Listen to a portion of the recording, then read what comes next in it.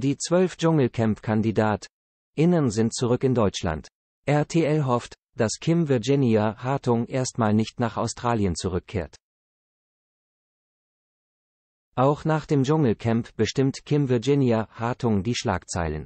Wie wir euch bereits berichtet haben, wandelte der Reality-Star in Australien mit einem der Sicherheitsmänner an, die sich vor Ort um die Kandidat innen kümmerten.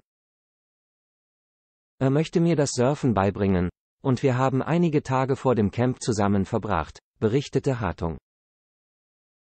Dschungelcamp. RTL unterbindet Kontakt zwischen Kim Virginia Hartung und dem Ranger. Und das scheint RTL gar nicht zu passen.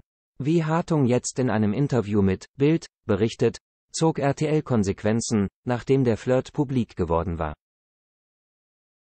Gegenüber der großen Tageszeitung erklärte sie, dass RTL ihr verboten habe, ihn weiterzusehen.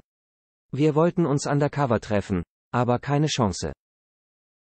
Dschungelcamp. Kim Virginia Hartung behauptet, dass Mike Heiter Sex von ihr wollte. Doch das ist nicht die einzige Nachricht aus der Welt der Kim Virginia, die aktuell für Aufsehen sorgt. Auf Instagram behauptete sie, dass ihr Verflossener, Mike Heiter, nach dem Finale um 3 Uhr nachts vor ihrer Tür stand und Sex wollte. Heiter streit das ab. Dschungelcamp. Mike Heiter will nichts mehr mit Kim Virginia Hartung zu tun haben.